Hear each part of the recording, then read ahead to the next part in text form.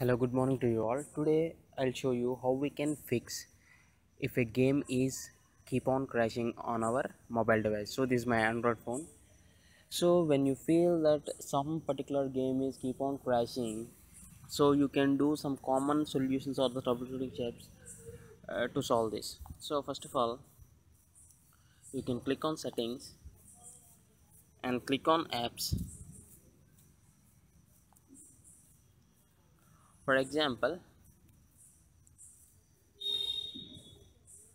just find the game or the app which is keeps on crashing. For example if this is the app you can just click on force stop and relaunch the app from the home screen again. And if that doesn't work click on clear cache and click on clear data. So these are the uh, three steps which commonly we see on the internet and i'm going to add it one more to this. And after this if it won't work means if it's uh, still keep on crashing just reboot your phone once and check whether the problem is solved. So i have seen a lot of queries on the internet means on the community forums or the comment section something like that. Uh, most ofly mobile legends uh, or uh, clash of clans such type of games are crashing a bit. So to check that there may be so many reasons. First of all check whether you have enough uh, space of ram. For me it is 1 gb so I, didn't have much. And i think most of the latest mobiles have enough ram.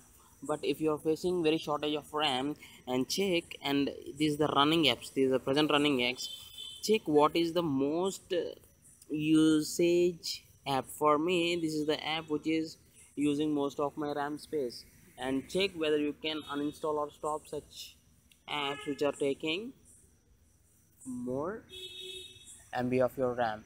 And the final one I have seen over the community forums and many got succeeded with the crashing of games is reinstalling the app. Means uninstalling the app once and going to play store and re reinstalling it again and if there are any updates you can click on the updates. But once i have solved a game which is keeps on crashing i have solved with i have solved with like i have re i have uninstalled and reinstalled it then it worked fine for me.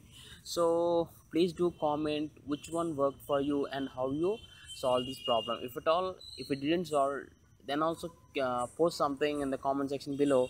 If it is solved for you that may be useful for the some other person who is facing this problem. And thanks for watching. Have a nice day